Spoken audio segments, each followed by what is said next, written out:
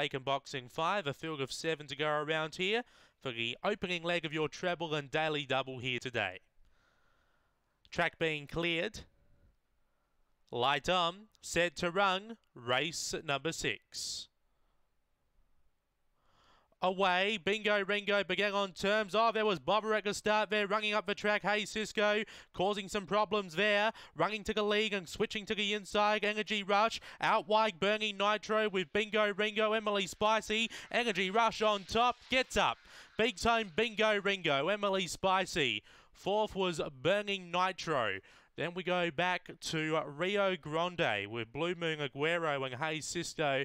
A few of those runners towards the tail end were cleaned up in the early stages. That time around 16 and 60. After race number six, number seven, Energy Rush avoided all of the trouble, switch, switched down to the rail, and has been too good for trainer Tony Rasmussen. Beaks over three, Bingo Ringo, Mark Giddings. Third, number two, Emily Spicy, Judy Hurley. And fourth will be number one, Burning Nitro, Debbie Stupas. 16.59, three quarters of a length by four and a half, three quarters by four and a half.